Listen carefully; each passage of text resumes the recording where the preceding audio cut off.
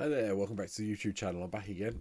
I've got the mic quite near my voice, um, near my voice, near my mouth, because unfortunately this morning I tested positive for COVID. So I decided I well use the time, since while I can talk, to do some recording. So here's the first video, but there'll be a few more coming out this week. So hopefully you'll enjoy them. I was going through the box toppers from the last set, and I realised there's one card I haven't really talked about, mainly because it's a tribe that isn't the most supported one in the world. Um, but they did give us a nice legendary creature to play around with in Dominaria United. So I decided to have a go at having a bit of fun making a tribal deck with Zeriam Golden Wind. Three and a white for a 3 4 legendary creature Griffin. It has flying, obviously, because all Griffins have flying. And whenever a Griffin you control deals combat damage to a player, create a 2 2 white Griffin creature token with flying. So it's quite good in some respects. So, where do we go with this then? If we want griffins, we want to be able to make the tokens to make more griffins because they just keep expanding, you know. Every time when you, whenever griffin you control deals combat damage, you get another griffin. So if we keep making the griffins come up, we should get there quite quickly. Now, Griffins are an under-supported, over-costed tribe in Magic, as I said earlier. There's no way around it, but this is just going to be one of those fun decks that occasionally I'll play on stream and see if it works. And I might even I might try and build this one in real life, so I haven't got a mono white deck at the moment, and this one could be quite funny. So, from that point of view, here's the whole deck. Sorry, there you go. Um, anything that's white is in the deck, mainly plains, as you can see. I've put a couple of other bits and pieces in. Uh, I've chucked in the Castle Ardenvale so we can have some blockers if we need them on the ground. You know, you can pretend they're the riders of the Griffins. Command towers in just for the sake of it. Eiganjo Castle to protect the legendary stuff. Uh, Emerius, we can return our Griffins when they undoubtedly get killed to the battlefield. Fabled Passage to go and find those plains we need. Mistveil Plains so we can actually put some of the stuff on the bottom of our library if they get killed. So I thought that was quite cool. And Path of Ancestry just helps with the scrying a bit so we can get through to some of the other griffins. Reliquary Tower Rogue's Passage, so we can actually get some griffin damage in. Probably going to use that most of the time on Zeriam. Temple of the False God, because griffins are expensive, so we might as well have this in. Unclaimed Territory, and Windbrisk Heights, just so we can have a bit of hideaway fun and get something away. Speaking of the ramp, I have gone a little bit overboard to make sure that we get there for this deck. So, there's Mox Tantalite, there's Mana Crypt, there's Mana Vault, there's Marble Diamond, uh, and Arcane Signet. Now, you aren't going to need all of them. If you build it in real life, you can probably leave these two out, just put some other um, ramp spells in. But in the meantime, I've got them in here because it helped me get up to four to get Zeriam out quicker. But obviously, as you can see, if you look at the deck list here, most of the lovely little griffins are all down this end of the curve. Not a lot at this end. So I had to do a little bit of thinking about this. I thought, well, how can I actually keep myself going in the short term? So I went down a slightly different route. Um, I went with Ajani's Welcome. I went with Authority of Consuls to slow down people attacking us. I went with Cleric class just for the additional life gain. And obviously, if we can get it up to level 3 when we've got one of the Griffins in the graveyard, it's not the worst plan in the world. Condemn Path to Exile to control the board a little bit, along with Swords to Plowshares. And then Lunarch Veteran, Soul Warden, Soul's Attendant, so we can just gain that life. The upside is, if we do gain that life, we have got Griffin in here. If we can get three life in a turn, in our turn, we do get another Griffin token. So it made sense from that point of view. We have got a couple of two-drop Griffins, but they don't really do much in this deck, unfortunately. So Fearless Fledglings in, which is nice. You can put a plus one, plus one counter on it so it builds up, but it's not great and it probably dies quickly. Fledgling Griffin as well gets um, flying when we drop a land again. It's okay, but it's not great. Uh, Sunset Revelry, sorry, is in just because I figure we're going to be behind at Hamsters and it creates a couple more humans as riders. And then Transcendent Envoy is also another Griffin, but it's also an enchantment creature. We have got a couple of enchantments in the deck that will make it Oh, no, it's not enchantment, it's aura spells. We've got no aura spells in the deck, so it's pointless. But it's just a 1-2 Griffin. And it's a Griffin at the end of the day. Going up to 3 drops, we've got Griffin Sentinel in. Wild Griffin. Diving Griffin, which I had to go back and check out, which isn't too bad. Flying Vigilance, 3 mana. And then a 2-3 flyer as well. There's a couple of other things in here as well. I've chucked in Always Watching to make sure all our creatures get a little bit bigger when we've paid all that mana for them and they get Vigilance. That's quite nice. I've also chucked in Halo Fountain. Uh, we might get to a point where we get to an untap a tap creature we control and get a token or draw a card, or you know, if we can get 15 creatures out, we can win the game with it.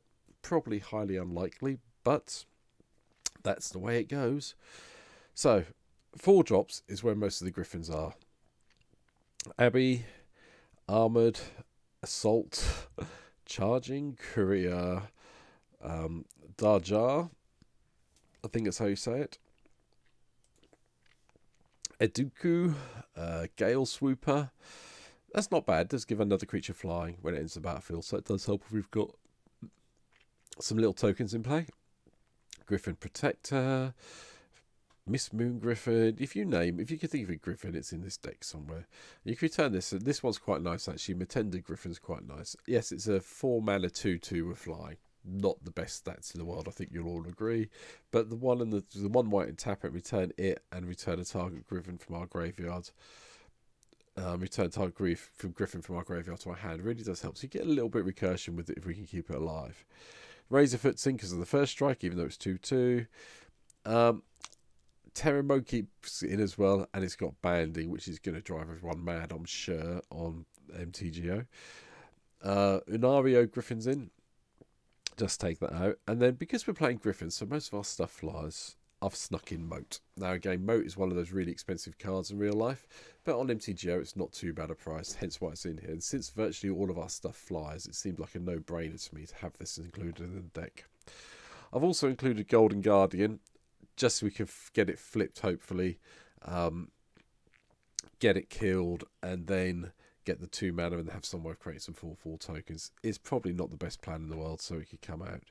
Speaking of which, the other artifacts I missed from over here Captain's Claws, just so we can get some creature, um, ground pounding 1 1 tokens if need be. Dowsing Dagger for the extra mana we can produce. Okay, we've got to chuck around, but the plus two, plus one's not the bad until we get the damage converted. And then Thaumatic Compass, I decided to put in so I've got some way of untapping the big annoying stuff that will come up against. Sorry, I missed them a minute ago. It's what happens when you've got COVID, your brain doesn't work properly. In addition, Thran Dynamos in. I think I mentioned that when I was talking about the ramp, but I can't remember now. The other thing I want to point out is I have chucked in Anointed Procession. If we are going to be making 2 2 Griffin tokens, we might as well have Anointed Procession and get on with it. So, hence why it's here. Going up to the five drops, we've got small griffins, we've got decorated griffin, we've got enforcer griffin, which is quite nice. Three, four for five flying. That's all right. I can cope with that stats. You know, and if we can get our little pump thing out here, always flying, that's not too bad. Peregrine griffins in the other legendary griffins in other griffin uh, other griffin creatures you control get plus one plus one. If you're going to have this one in, you might as well have the other one in mind. You know, this is the one that people have been trying to make working griffin decks for years on end. I've chucked in AO, the Dawn Sky, just so I can get some of the stuff back, or put some plus one plus one counters around when this dies. Archangel of Thune seems like a bit of a no-brainer. Uh, Griffins have got to pray to something. And there's going to be a lot of life gain, so we might as well make the Griffins bigger this way. Cathar's Crusade works when we get to put the tokens into play. If we get one of our first strike griffins to get some damage in, and this is in play, we get to get a 2-2 creature, which will then pump all the other ones by plus one, plus one. So it's really worthwhile having the Crusade in from my point of view.